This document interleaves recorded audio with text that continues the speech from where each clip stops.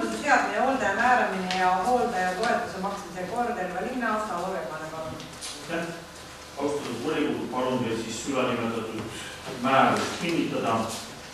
meil on juba varasemast kehtinud analoogne kord, pealkirjastatud siis vanempuudushoolduse seadmine. et kord on kehtinud aastast kaks tuhat viis. praegune redaktsioon on siis parandatud teksti kujul, et, et põhimõtted iseenesest on jäänud samaks nagu vana, vana korral ja et ta oleks siis ka ülesehitusel sobilik riigi teates avaldamiseks, nagu kõik kohaliku, kohaliku omavalitsuse otsused peavad olema. et palun ta kinnitada. kas on küsimusi? kas komisjonid on see ka läbi läinud, sotsiaalkomisjon?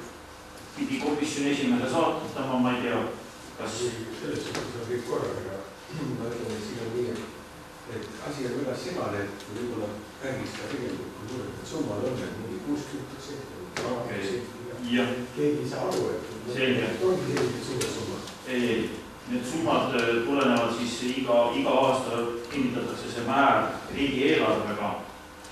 ja, ja nüüd, kui see kuuskümmend protsenti kinnitatud sotsiaaltoetuste määrast, see on siis viisteist eurot ja kolmkümmend neli senti ja sada protsenti on kakskümmend viis eurot ja umbes kuuskümmend seal. Need summad ei ole kuigi suured. nii, aitäh, on veel küsimusi? ei ole, panen siis Elva linnavolikogu määruse eelnõu hoolduse seaduse hooldaja määramise ja hooldaja toetuse maksmise kord Elva linnas hääletusele, kes on selle eelnõu poolt, palun käega märku anda. kuusteist poolt,